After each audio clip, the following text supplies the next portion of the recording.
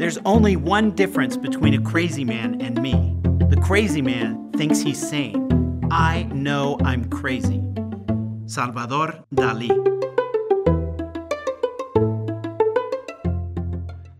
Hi, welcome back again. Now we experience a beautiful reprise of Cervantes' labyrinthical technique in part one. The abîme, or Russian doll structure, the narrative within the narrative which reflects back on the original narrative. The barber asks the group to give him license to tell a story that took place in Seville because it fits perfectly here.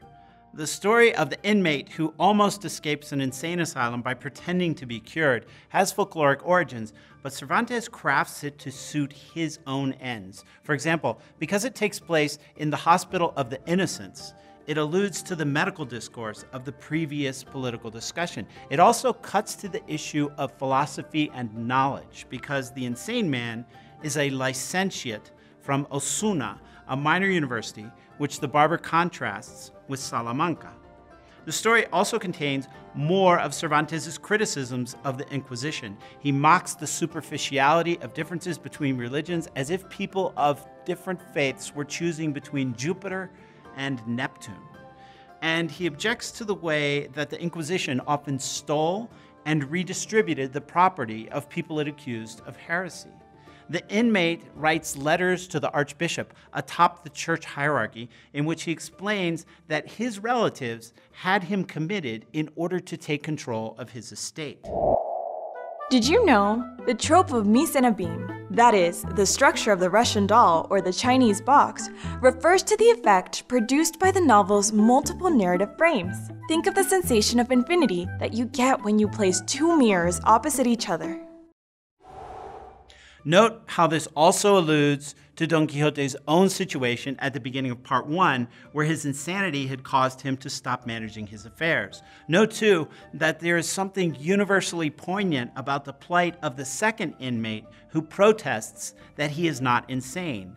You're free, you're cured, and you're sane, while I'm crazy, I'm sick, and I'm confined? The story's own internal conclusion as well as Don Quixote's reaction to it, underscore the power dynamics involved in laughter. When the chaplain sent by the archbishop has to acknowledge that the man he has come to free is indeed still insane, even so, Lord Neptune, it would not be a good idea to upset Lord Jupiter.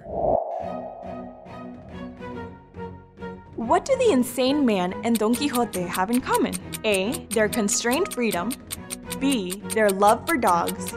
C. Their purchases of new lands. Correct answer A. Their constrained freedom.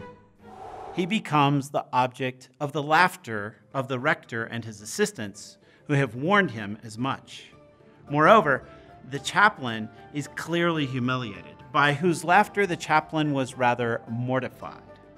As he was in part one, Don Quixote is angered by this laughter. He realizes full well that the barber has just compared him to an insane man pretending to be cured. I, Lord Barber, am not Neptune, the god of waters, nor am I trying to persuade anyone that I am clever when I am not. Also, Don Quixote twice calls the barber rapista, a pejorative term meaning shaver, but which can also mean thief. That's all for now. We will see each other in the next video. If you liked this video and want to continue learning more about the knight-errant Don Quixote de la Mancha, you can subscribe to our YouTube channel here. Also, you can enroll in our free online course on Don Quixote by clicking here.